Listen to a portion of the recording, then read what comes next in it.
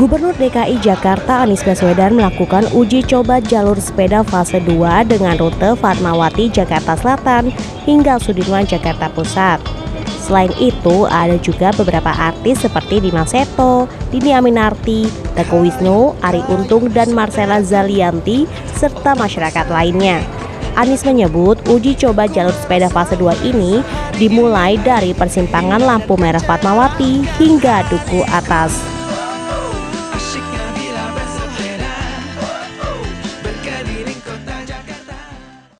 Gerakan Jakarta Ramah Bersepeda.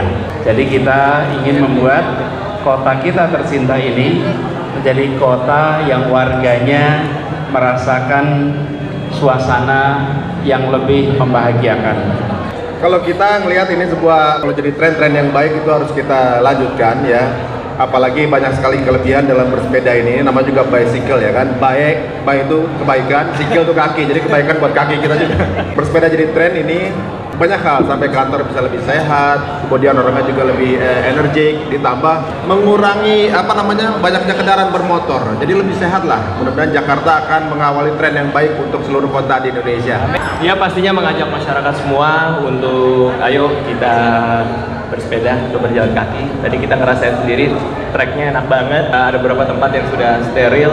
Ya, jadi ayo kalau bukan kita yang meramaikan siapa lagi? Ya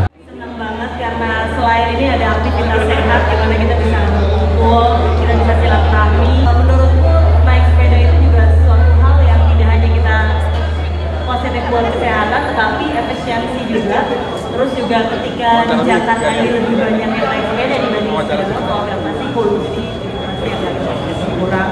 Jadi senang kalau memang diresmikan ada jalur-jalur khusus sepeda yang mudah-mudahan jalur ini eh, pelan-pelan uh, bisa mayoritas bisa diisi oleh sepeda. Ya harapannya tentu di Jakarta ini bisa lebih banyak lagi dan diperpanjang lagi jalur-jalur untuk sepeda sehingga pengendara sepeda bisa jadi lebih banyak dibanding pengendara motor ya karena secara polusi, secara efisiensi itu juga banyak nilai positif. Selain juga kita tentunya ini bisa berkumpul dengan lebih sehat lagi. Bersepeda kita ingin dorong bukan sebagai alat olahraga saja, tapi bersepeda sebagai kegiatan transportasi.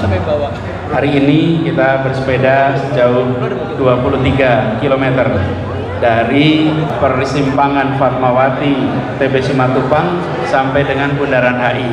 Kalau dengar 23 km rasanya jauh, tapi kalau udah dijalani sangat simpel bukan? Dan nggak kerasa. Apalagi kalau jalan bersepedanya santai. Jadi kaki kita adalah alat transportasi yang semua kita miliki. Kita bisa berjalan kaki atau kita bisa bersepeda dua-duanya sehat dan dua-duanya tidak menyisakan polusi udara